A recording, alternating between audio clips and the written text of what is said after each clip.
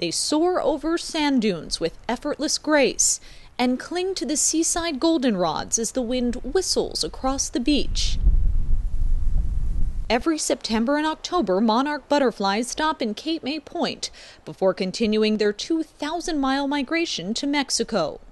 Monarchs do not have an adaptation that allows them to survive winter's cold in any of their life stages. And in one of the more spectacular migratory movements of North America, uh, tens of millions of monarch butterflies leave eastern half of the United States, southern Canada, on an epic trek all the way to the mountains west of Mexico City.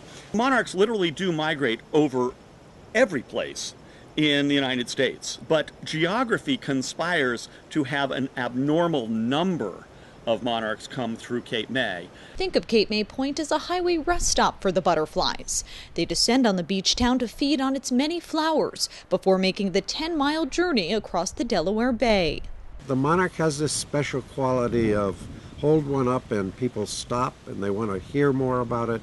They want to see them. Dick Walton founded the Monarch Monitoring Project 20 years ago. The team conducts daily census counts throughout September and October. This season is an especially above average year for monarch sightings. Why becomes a, a, set of speculations.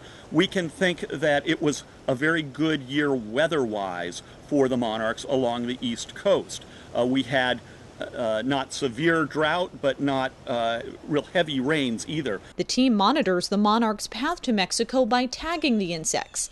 Field technicians catch the butterflies, record their measurements, and scratch off a portion of their scales to apply a permanent sticker. Over the 20 years the Monarch Monitoring Project has been tagging butterflies, about 80 monarchs tagged here in Cape May Point have been found in Mexico. Now that might not sound like a lot, but it's impressive, given that 1 in 1,000 butterflies are recaptured each year. The organization continues to attract people to their tagging workshops, like four-year-old Haley Moyland.